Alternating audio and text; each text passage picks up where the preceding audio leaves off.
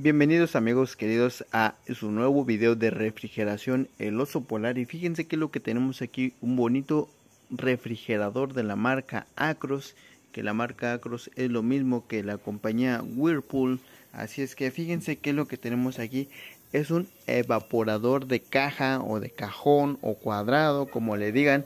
Y es de esos que hacen escarcha amigos que usualmente lo traen los refrigeradores pequeños y más económicos Así es que son muy buenos, la verdad, estos hasta que se descomponen o hasta que se pican, ¿verdad? Entonces aquí les voy a contar una historia muy interesante que me resultó interesante porque este refrigerador es de un señor de edad avanzada. Así es que yo llegué a su domicilio y me dice, oye, ¿sabes qué? Mi refrigerador no está enfriando. Y le digo, ah, ok, entonces ya cuando veo el refrigerador y lo veo de este tamañito pequeño, es como de un metro veinte o de un metro treinta por ahí. Y digo, no, pues ha de ser eso.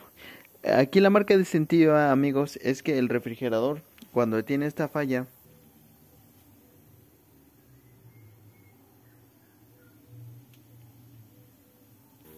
Sí, le decía que cuando tiene esta falla, amigos, es que se escucha el motor compresor trabajando, es decir, hace el ruido normal cuando tú lo conectas como un motor. motor de refrigerador es normal, pero en este caso específico ya no está congelando, ya no está enfriando, ya no está haciendo la escarcha, ya no se siente el frío. Entonces el señor me dice, es que tenía yo pollo y entonces cuando lo dejé fui a ver ya se había descompuesto el pollo. Entonces aquí estaba lleno de pollo.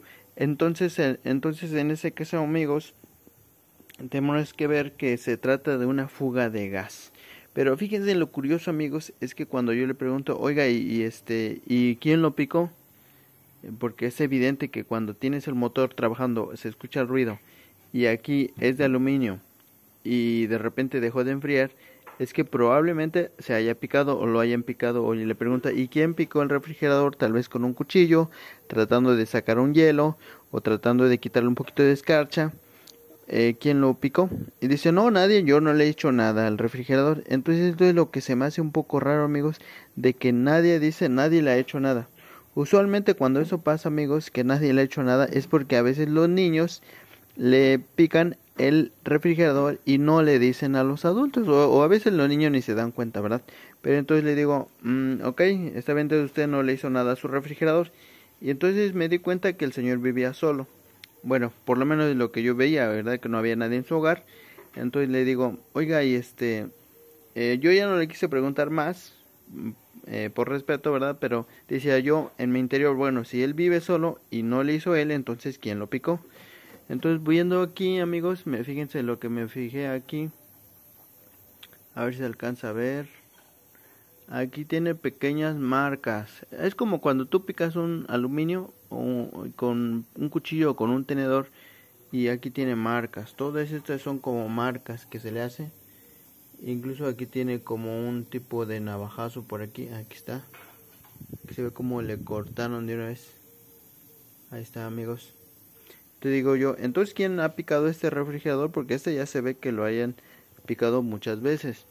Pero me decía que él no. Pero ya me comentó que a veces sus nietos vienen y entonces vienen y él, lo abren en el refrigerador. Entonces cuando te hablan de que hubo nietos, hubo niños, hubo sobrinos, hubo eh, niños que llegaron ahí, es porque ya sabes que, que es porque ya viste que ahí, ahí hay gato encerrado amigos, que los niños picaron el refrigerador y es lo más usual.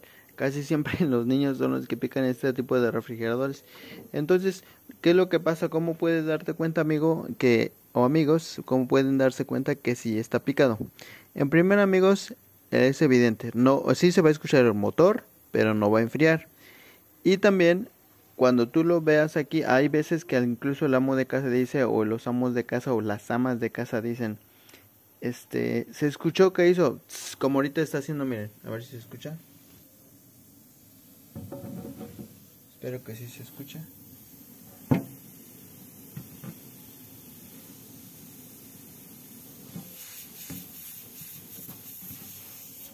Ahí está, así, se escucha como que se está escapando el gas. Y sí, es porque lo picaron y se está escapando el gas.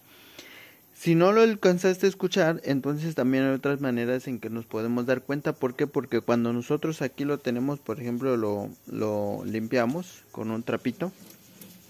Lo limpiamos porque tiene escarcha. Lo limpiamos con el trapito. Y luego vemos como que tiene un tipo de aceite. Como un tipo de grasita, como aceite. Y es un, un aceite diferente. No es eh, ni pollo ni aceite comestible. Es un aceite del motor compresor porque incluso el motor, el aceite del motor compresor huele diferente, huele a algo de algo, un uso mecánico, un uso mecánico, no es igual al aceite comestible, comestible. Así es que esa es una segunda pista que te puede servir porque el, aceite huele diferente y se va a tener manchitas o incluso lo vas a pasar hacia el dedo y vas a ver el aceite que tiene ahí regando. Eso significa que sí, definitivamente tienes ahí una fuga de gas. El tercer punto, amigos, es que, bueno, más bien precauciones que cuando ya a nosotros nos pasó eso, hay que quitarle la escarcha, dejarlo limpio porque si no la escarcha eh, se va a deshacer y se va a hacer agua y entonces el motor va a, succionar, después de sacar todo el gas, va a succionar el, el agua que pudiera haber aquí en el evaporador y puede ser peligroso para nuestro motor compresor porque se puede oxidar por dentro, amigos. Así es que ahorita tiene una prueba de estanqueidad, eh, tiene un poco de presión el refrigerador, así es que eh, dado que ya vemos y si escuchamos incluso la fuga, le vamos a poner un poquito de espuma. Y fíjense qué es lo que pasa aquí, amigos. Miren hasta con qué fuerza lo está sacando aquí esto. Miren. Es muy evidente, ¿verdad? Muy evidente.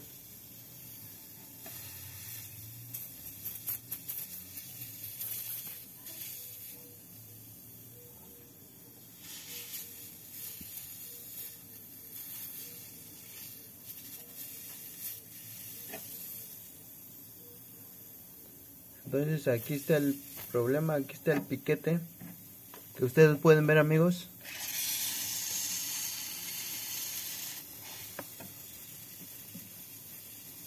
Esa acción es por el piquete, amigos, que está está este no está jalando, sino está expulsando ahí la espuma en esa parte.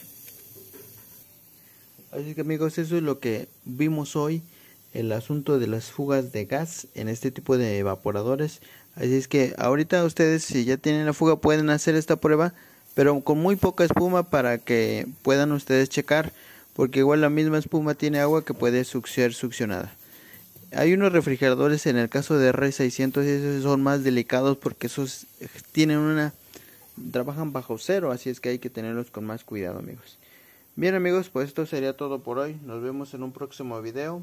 Adiós.